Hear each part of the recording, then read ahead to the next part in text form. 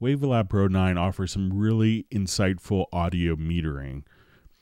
It used to be that many people would have a separate screen dedicated to metering their audio in earlier versions of Wavelab, but with the prevalence of laptop and single screen systems, the user interface has been updated to accommodate metering within the main editing window.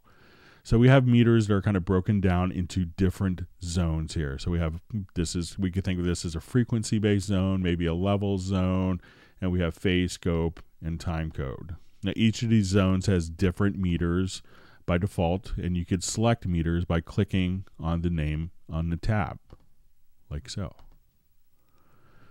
Now, each of these meters can be docked within these different zones, or they can be freely moved and undocked or placed in very convenient areas with unique user interface. So if I grab the tab name, we can see these little squares, and these would allow us to position the meters in different areas. So if I want my phase scope to be above the entire metering pane, or if I want it to be below, I could just click right here on this zone.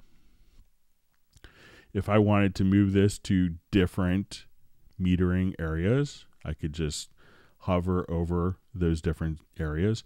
So within a zone, if I wanted to be stacked on top or stacked on bottom, I could also, if I wanted to be tabbed, select the center square.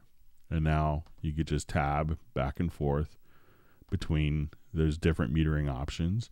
If I wanted to be kind of hidden and docked on the right hand side, I can now just click here and now expose that. So again, let's say if I wanted to be in the dock, or conversely, if I wanted to be on the right hand side, to be there, or all the way to the opposite side with my left hand side.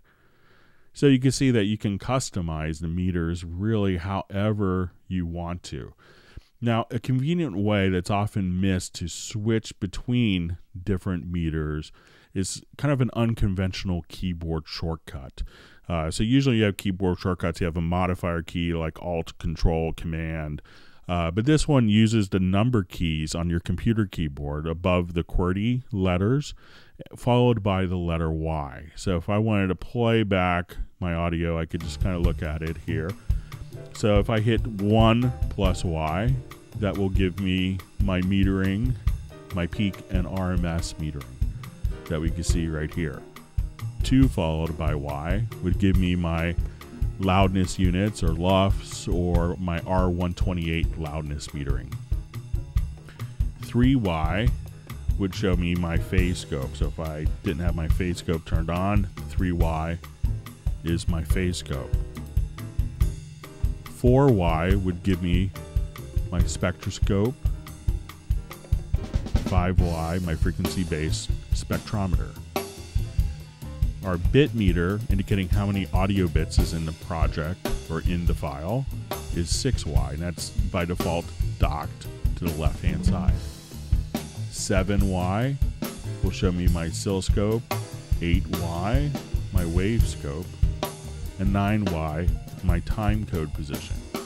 So you can see that if you wanted these windows to be freely docked and placed on a separate monitor, or if you wanted to customize them, the highly accurate metering plus the flexibility of the keyboard shortcuts to see different meters at once really make for unique insight into what's happening with your digital audio. If you found this video useful, please feel free to like the video and to subscribe to the channel.